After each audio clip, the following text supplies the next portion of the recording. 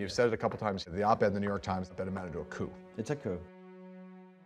I'm silly to have looked up the dictionary definition where it says a sudden and decisive action in politics, especially one resulting in a change of government illegally or by force. The op-ed represents a concern about the president's fitness for office, a decision not to try to remove him, but instead to try to stay in office with him and keep him from doing some of the things they fear he would do in his worst moments. How What is they- that a no, coup? What they have said is that they are not going to implement the plans of the President of the United States.